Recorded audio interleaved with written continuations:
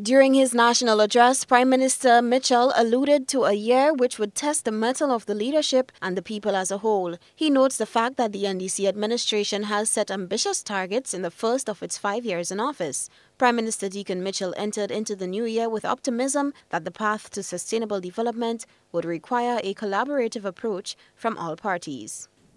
We are also mindful that 60 months or five years may seem like a long time but in the scope of governance, it can go by very quickly. As we embark on this journey of transformation and positive change, our success as a country and as a people requires us to also transform our thinking.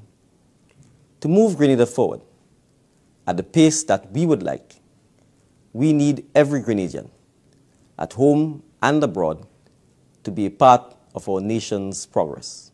The Prime Minister reiterated the importance of transformation, which has been the government's watchwords. His plea for cooperation comes amid times when global economic changes are having a significant impact on the cost of living locally. The threat of climate change on its own and the very real and existential effects that sea level rise holds for the future of our island state is enough to help us realize that we need to band together as a nation and also as a region. The negative fallout from the war in Ukraine, on the heels of a devastating global pandemic, continues to adversely affect global supply chains and increase the cost of food and fuel and worsen an already high cost of living. In light of all of the above, no one is coming to save us.